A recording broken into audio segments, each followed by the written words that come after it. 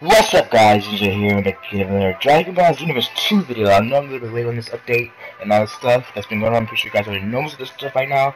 But I'm here to say it because it's Xenoverse, so let's go. So as you guys know, you can probably pre-order Xenoverse 2 now. Um, or if it's not out with you right now, you can pre-order it soon.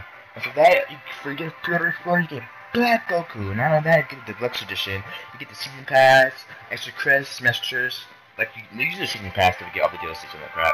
But you also get Future Dragon Super Future Gohan as a playable character early. So that's pretty much telling me that we either have super content in the game already, or we're gonna get it for DLC, which is gonna be awesome. So I wonder if you guys would be help with that.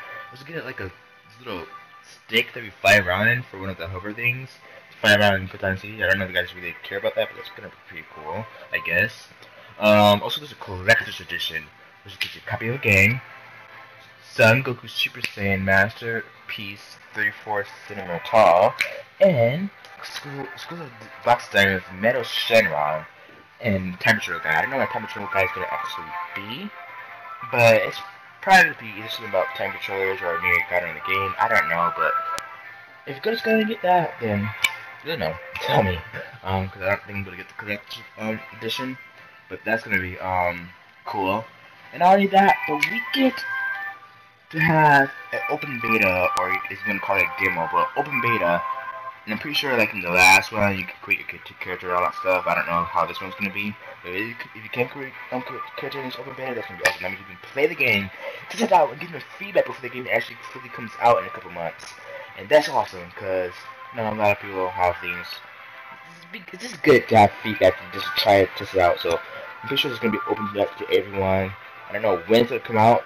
They haven't really confirmed that yet, but it's gonna be nice when it comes out, uh, hopefully. And that's not gonna do that. But right now, I want to talk about how um, pretty sure all uh, all races are confirmed to have transformations now. Because we saw a, I saw a picture with um, a blue character transforming, not transforming, like blue. Was like they were blue, so I'm pretty sure that's a custom character. That means they either have like the transformation they go to pure form and they can't be formed because they were skinny. Maybe it's just a skinny lantern. I don't know. It might be a transformation. I'm pretty sure it is. But I'm pretty sure all characters are going to have a awakening mode because they have a slot just for transformation. So it makes sense for every character to have transformation. So I'm kind of curious what the humans might have, like maybe on nature or control, I don't know. But that's a lot of news for this game coming out. I'm pretty hyped for it. Um, what else? Um, other than characters, we have. Oh, so I'm pretty sure. Let me talk about this.